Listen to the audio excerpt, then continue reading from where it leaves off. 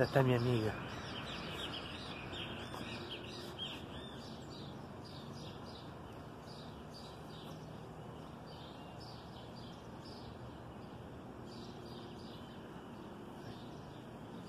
La desconfiada, la... ¡Uh! Se fue.